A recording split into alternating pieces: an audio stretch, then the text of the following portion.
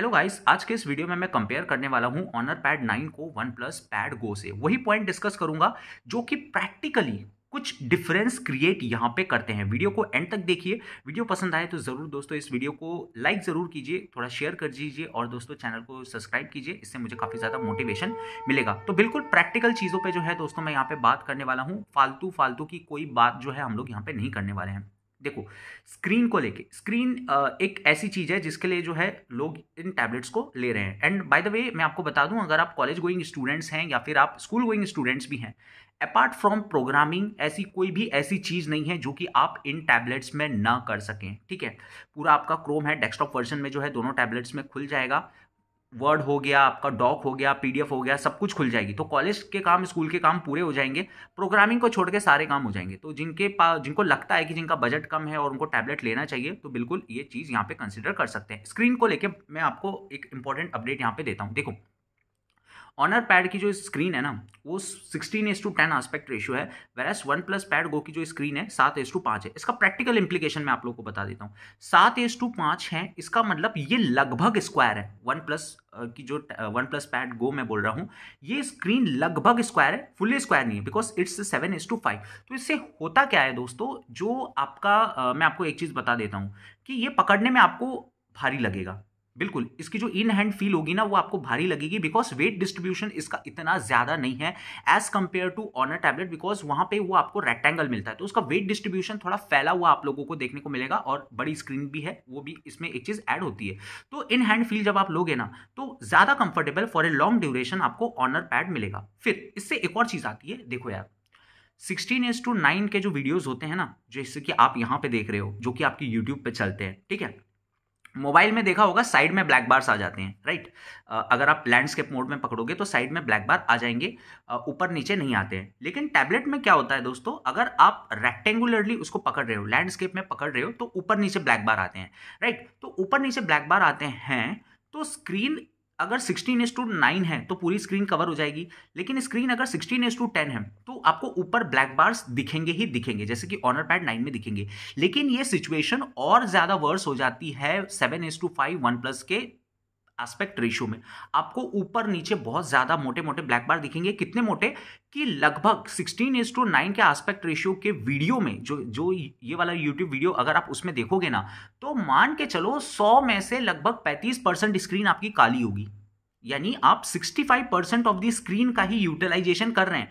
तो बड़ी स्क्रीन ये लोग दे रहे हैं तो उसका कोई उतना ज़्यादा फ़ायदा नहीं है when you watch the content now the things start getting more worse when the content is in 21 is to nine aspect ratio या फिर थोड़े लंबे आस्पेक्ट रेशियो में रहता है जैसे कि आप लोगों ने देखा होगा कि आजकल बहुत सारे यूट्यूब वीडियो थोड़े ऐसे लंबे वाले आस्पेक्ट रेशियो में आते हैं। तो उसमें और ज़्यादा ब्लैक बार देगा। तो यार, कहीं ना कहीं बात घुमा फिरा के ये आ जाती है कि टैबलेट आप कितना भी ज़्यादा बड़ा कर लो, लेकिन अगर आप आस्पेक्ट रेशियो वीडियो के हिसाब से नहीं रखोगे ना तो वीडियो पूरा स्क्रीन में दिखेगा नहीं। यार देखो टैबलेट लेने का अल्टीमेट पर्पस ही यही है कि बड़ा दिखे, है ना?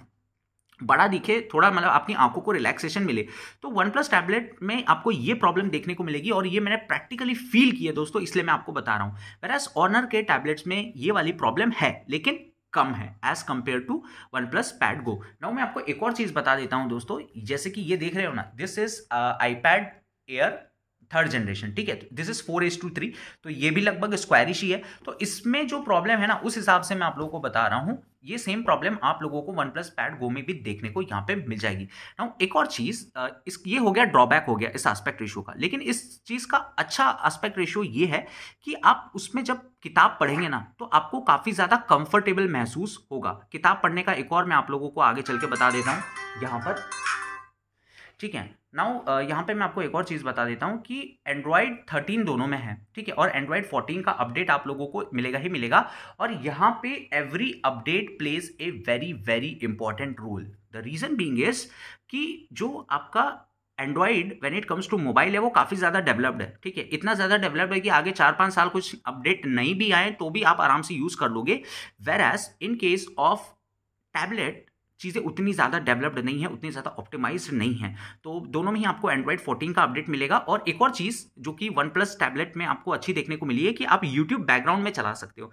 बंद कर दो स्क्रीन गाना पीछे जो है बसता रहेगा। तो ये फीचर इन लोगों ने दिया हुआ है और ये फीचर स्टैंडर्डाइज हो जाएगा एंड्रॉइड फोर्टीन में। क्योंकि मेरा जो फ्रेंड है रूममेट है, उसके इसमें एंड्रॉइड 14 में ये फीचर आ चुका है कि यूट्यूब जो है बैकग्राउंड में चलता है। So you don't no more need to purchase YouTube premium if you want to hear YouTube on a background side फिर बात आती है एसेसरी को लेके। ऑनर के साथ में जो आपको फ्री मैजिक कीबोर्ड मिल रहा है ना, उसकी कीमत मार्केट में दो हज़ार से कम नहीं है। ठीक है?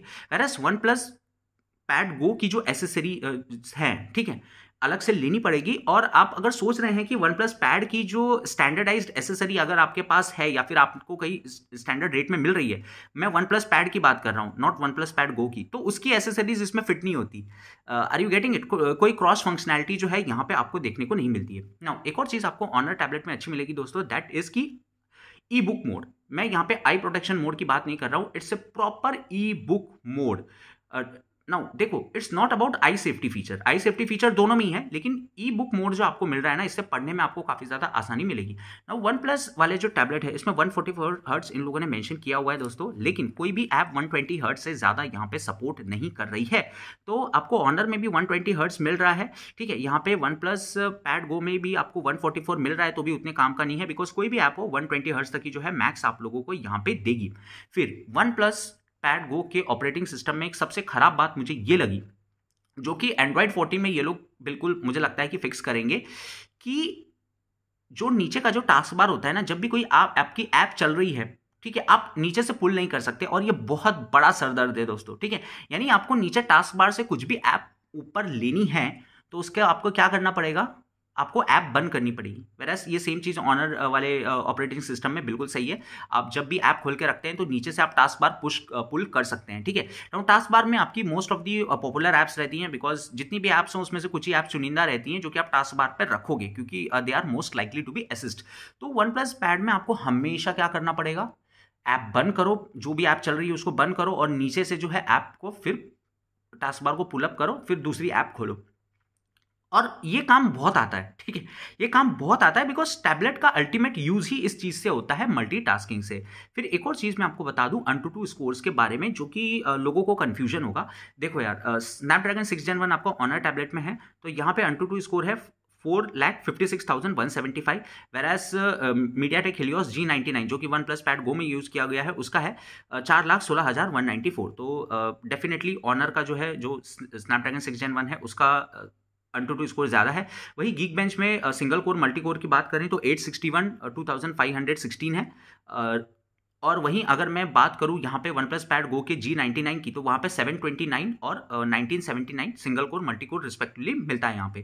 तो eight sixty one versus seven twenty nine two five one six versus nineteen seventy nine ठीक है? Single core multi core score का ये है। तो ओवरऑल हिसाब ये है कि ऑनर का जो टैबलेट का प्रोसेसर है वो uh, सही में अच्छा है। इन लोगों ने अच्छा बनाया हुआ है यहाँ पे। फिर उसके बाद मैं आपको बता दूँ कि ऑनर के साथ जो आपको यहाँ पे कवर मिल रहा है ना ब्लूटूथ कीबोर्ड जो मिल रहा है, वो अलग से चार्ज होता है, ठीक है? मतलब ये मत सोचना कि ब्लूटूथ कवर अगर आप चार्ज कर रहे हो तो आपका टैबलेट भी चार्ज हो रहा है, ऐसी बात नहीं है। ना चाइना का जो वेरिएंट आपको देखने को मिलता है ना ऑनर पैड नाइन का, उसके अंदर इन लोगों ने एंटी ग्लेयर डिस्प्ले डाली है, जो कि सही है। ऐसा इंडिया में भी इन लोगों को देना चाहिए था but I think for some reason I don't know why it is not available here ये बिल्कुल होना चाहिए था। नाउ एक और चीज़ यहाँ पे मुझे पता लगी कि ऑनर पैड में कोई LTE वर्जन नहीं है वेरस वन प्लस पैड में आपको LTE वर्जन देखने को मिलता है। ठीक है एल यानी सिम कार्ड लगती है। नाउ क्या सिम कार्ड वाला वर्जन लेना चाहिए? तो यार देखो मेरा तो ऐसा मानना है कि सिम कार्ड जिस भी चीज़ में लगती है ना, उसका धीरे धीरे कबाड़ा होना तय है। चाहे फ़ोन में ले लो तो वाईफाई ओनली वाला अगर वेरिएंट आप लोग लेते हो ना तो चार से पाँच साल कुछ भी नहीं होगा, मैं आपको बता रहा हूँ। लेकिन अगर हाँ आप सिम कार्ड वाला वेरिएंट लेते हो ना तो धीरे धीरे प्रोसेसर भी जो है जंग खाने लग जाएगा। ऐसा मेरा एक्सपीरियंस है दोस्तों, मैं जो टैबलेट यूज़ कर रहा हूँ उस हिसाब से। आई थिंक इतना लंबे चलने के पीछे कारण पाँच साल हो जाएँगे इस टैबलेट को इस नवंबर में, ठीक है?